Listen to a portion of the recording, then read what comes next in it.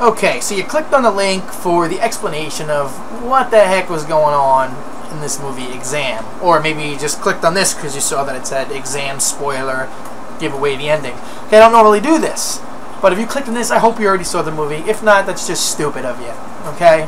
Alright, now, here's what it was. This guy said to these eight people, after he gave them the rules, and all the rules, the rules were and the only rules in here are our rules. There is one question before you, and one answer is required. If you try to communicate with myself, or the guard, you will be disqualified. If you spoil your paper, intentionally or accidentally, you will be disqualified. If you choose to leave this room for any reason, disqualified. Any questions? He said any questions. Now, obviously, nobody could answer that question. Because if they would have said yes, they would have been disqualified and kicked out. Because that is an answer that is saying something to him. So, get it? So they couldn't say yes. So, no questions are now asked. Through the whole movie, you you want to know what the one question is, and that was the question. Does anybody have any questions? That's the one question, and then you find out at the end of the movie, hidden in the paper, it said question one, and a lot of people confused. Like, what do what do they mean? Only one question. Some people thought the answer was, oh, there's a question followed by one answer, and the answer is one. No, the answer was no, and that's what Blonde said. So, at the very end, she goes, the answer is no. Because the question was, does anybody have any questions? Okay, hi. I came back on here, even though I'm getting ready to do some other reviews, because there's some questions unanswered that I realized people had.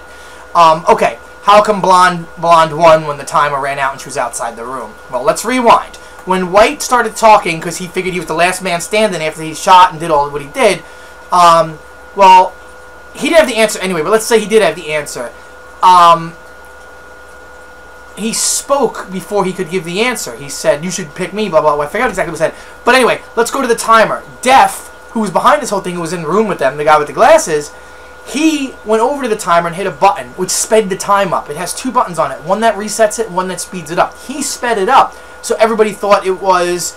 Um, that was the actual time. So when the timer ran out in the room, they thought that was it. It was over. So White was like, well, he picked me, pick me. It's already over. And Blonde's outside the room. Well, it wasn't over because when he looked at his watch, he saw there was time left because the timer sped up.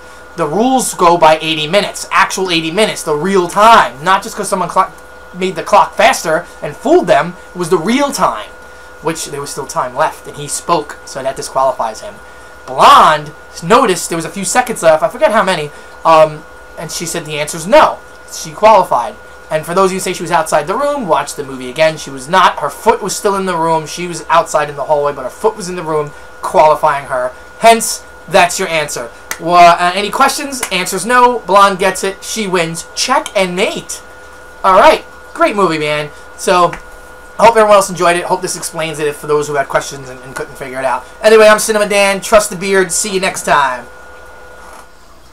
Oh, one last quick thing. Um, if you watch this whole uh, ex explanation of exam and you didn't see the movie, you're a retard. Okay? You should watch the movie. I did this for those who had questions of it. And I hate people that ruin movies, watch the end of movies, read the end of books, whatever. I'm coming to your house personally. If you watch this without seeing the movie, I'm going to rip out every last two pages of every book you own that you have not read yet.